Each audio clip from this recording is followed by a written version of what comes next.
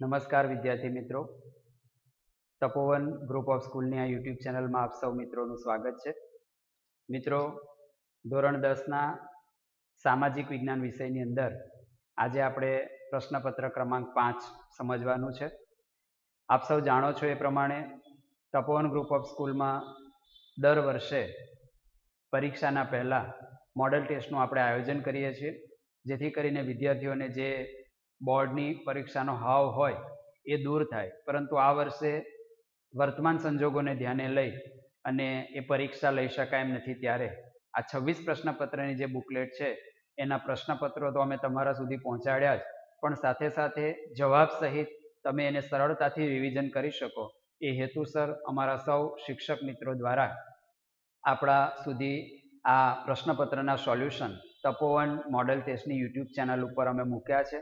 અને આશા રાખીએ છીએ કે આનું રિવિઝન કરી અને તમે સારામાં સારા માર્ક્સ લાવી શકશો.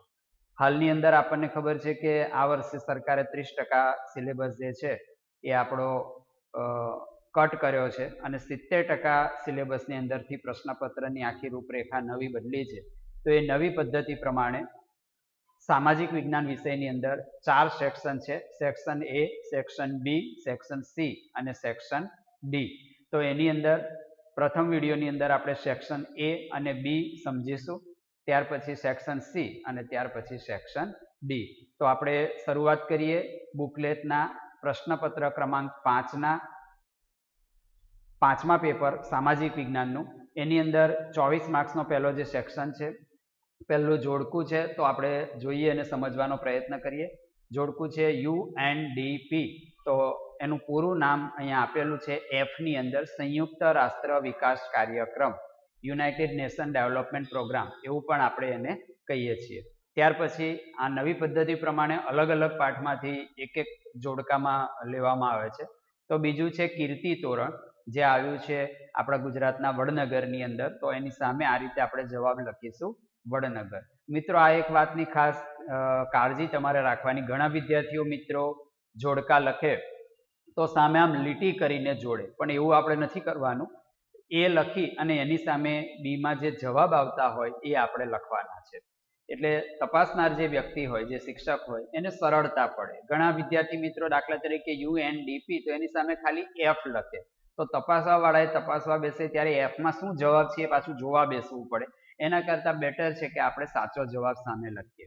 ત્રીજું છે સર્વ સુલભ સંસાધન. આપણે સમજ્યા ત્યારે વ્યાખ્યાઓમાં પણ તમે દરેક સમજ્યા હશો કે જે સરળતાથી મળી શકે એવું સંસાધન, તો એની અંદર આવશે ઓક્સિજન. એના પછી નવગણ કૂવો આપણા ગુજરાતની અંદર જ આવ્યું છે જુનાગઢની અંદર, તો સામે લખીશું આપણે જુનાગઢ.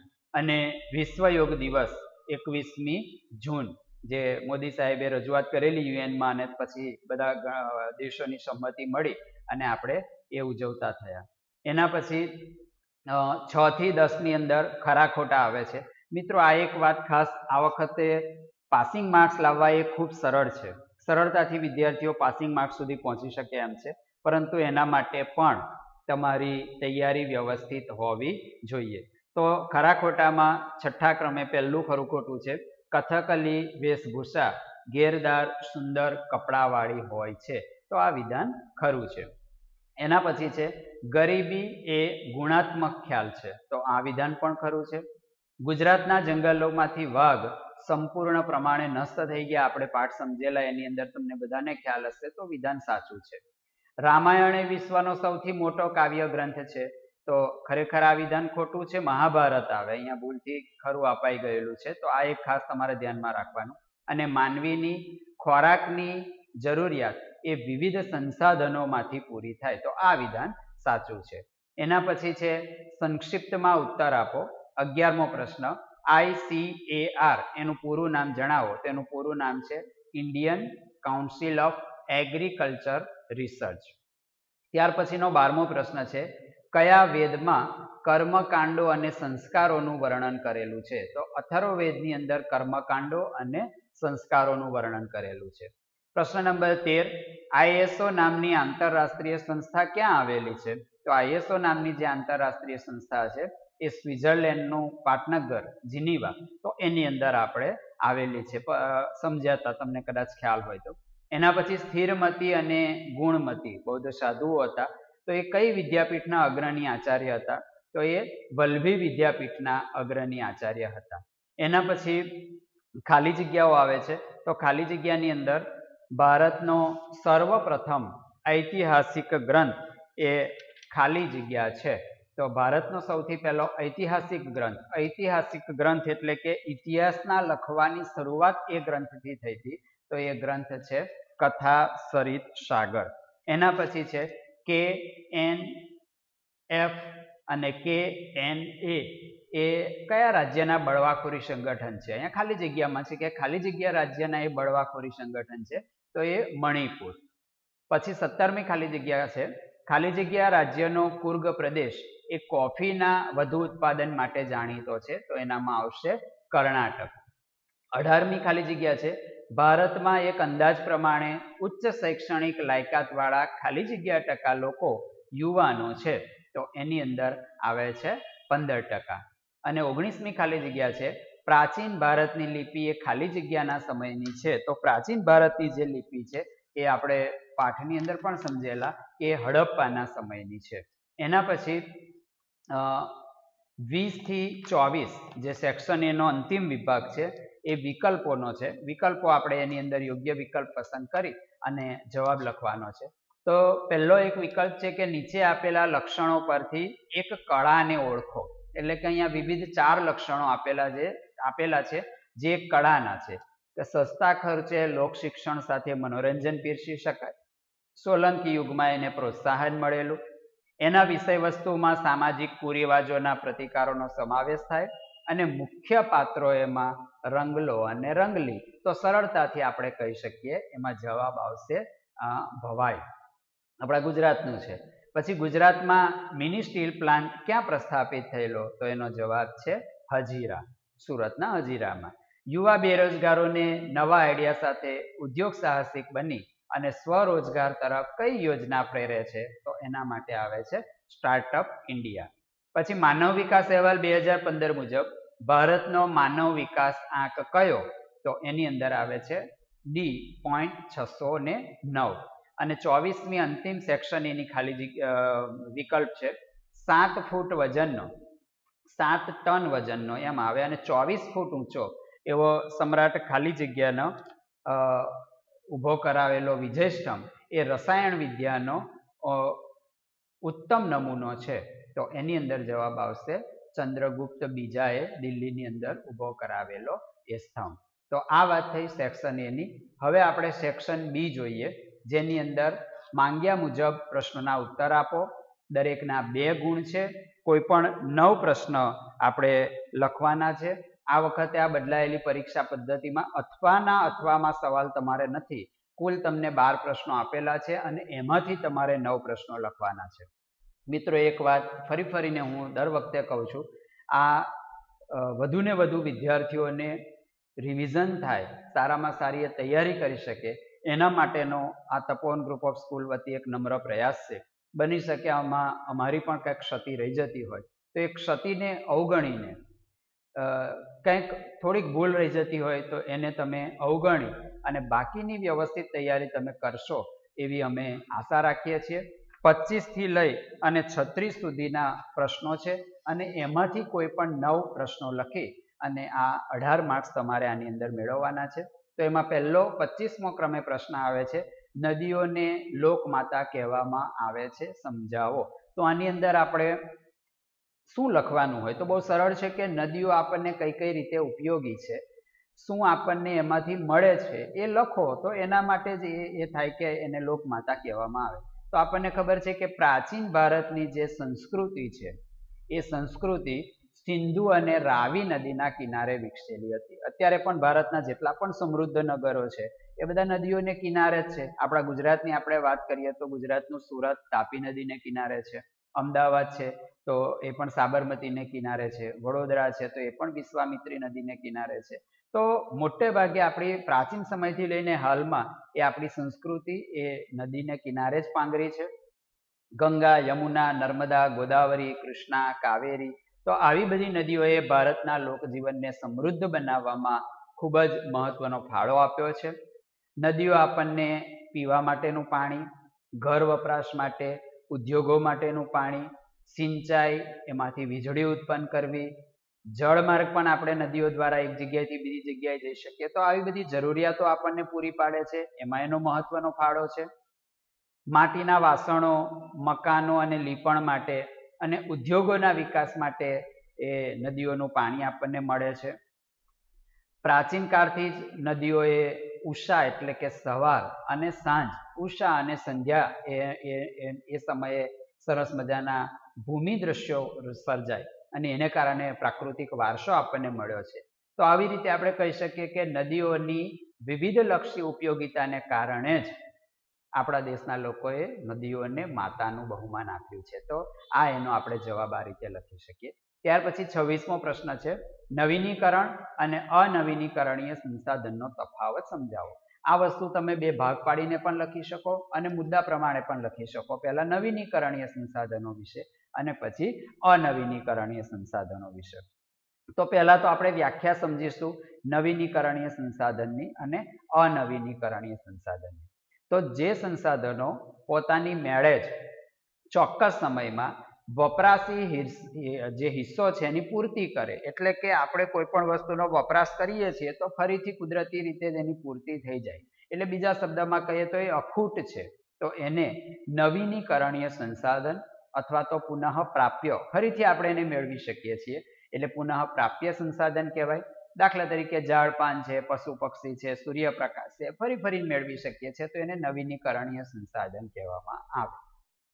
તો અનવીનીકરણીય કોને કહેવાય? તો જે કુદરતી સંસાધનો એકવાર વપરાયા પછી પુનઃ ઉપયોગમાં લઈ શકાતા નથી, એટલે કે એને ફરીથી બનાવી શકાતા નથી, અથવા તો નજીકના ભવિષ્યમાં એનું ફરીથી નિર્માણ આપણે કરી શકતા નથી.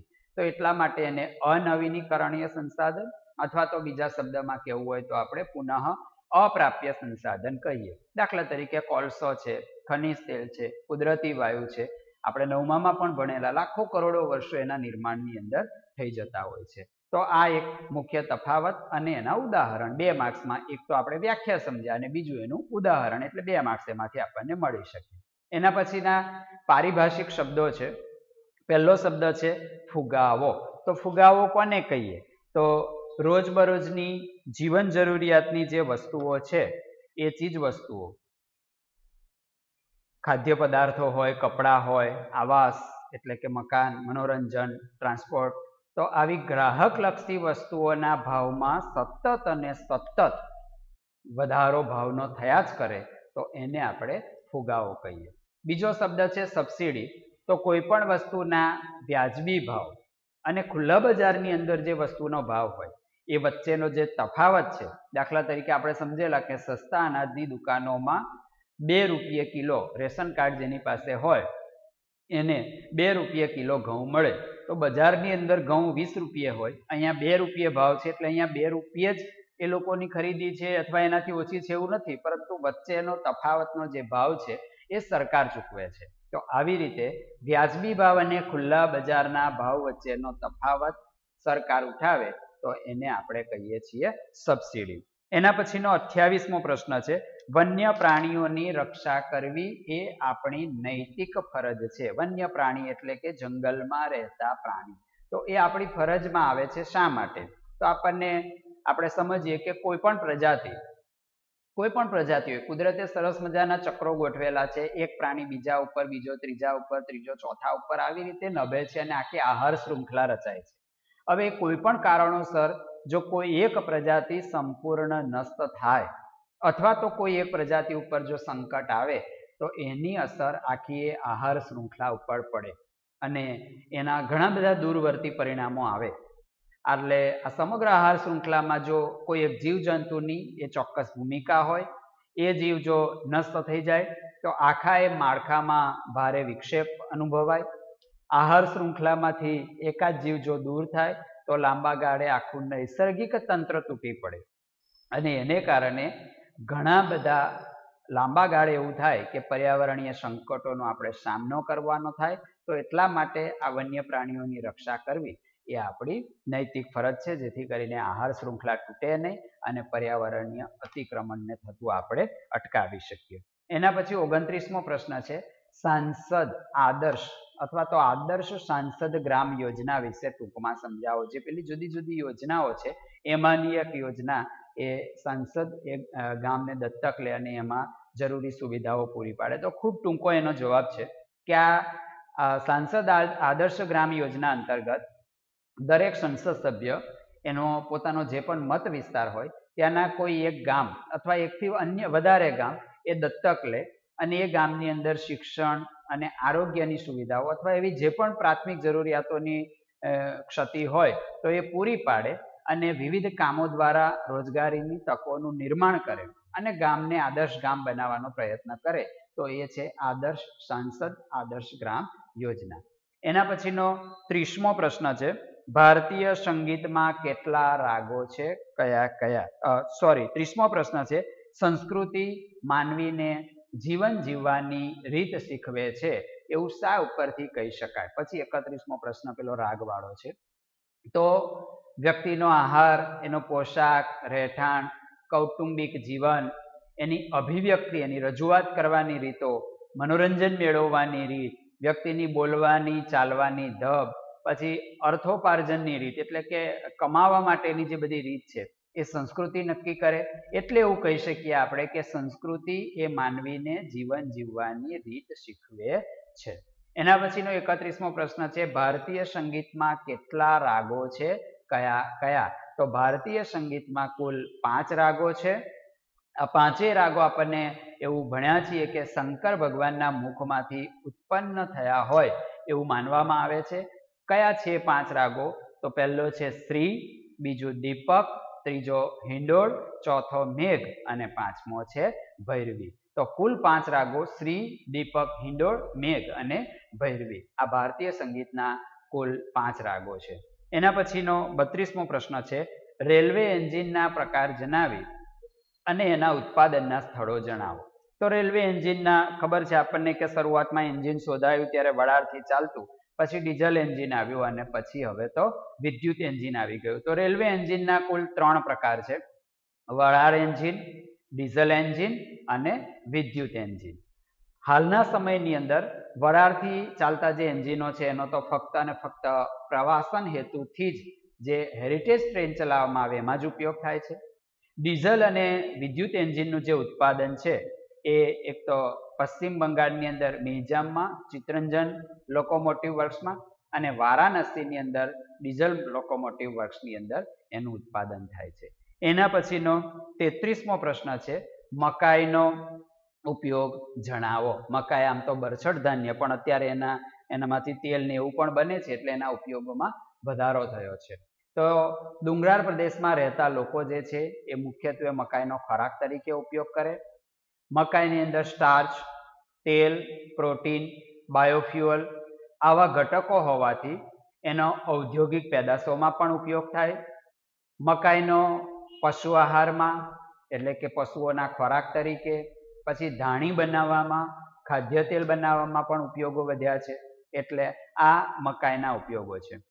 એના પછીનો ચોત્રીસમો પ્રશ્ન છે, અમીર ખુસરોનો પરિચય આપો. એક લેખક હતા, સાહિત્યકાર હતા, તો શું હતા, શું લખ્યું એમને? તો અમીર ખુસરો એ દિલ્હીના સલ્તનત કાળના સૌથી મહાન સાહિત્યકાર ગણાય. એક કવિ, સાથે સાથે ઇતિહાસકાર, સંગીતકાર અને પોતે એક રહસ્યવાદી સંત પણ હતા. અમીર ખુસરો સુપ્રસિદ્ધ હઝરત નિઝામુદ્દીન ઓલિયાના શિષ્ય હતા. ફારસી અને સંસ્કૃત ભાષાના એ વિદ્વાન હતા. જાણીતી એમની કૃતિઓમાં આસિકા નૂર, સિપિહર, કિરાતુલ સદાયન. તો આવી આ બધી એમની જાણીતી કૃતિઓ છે.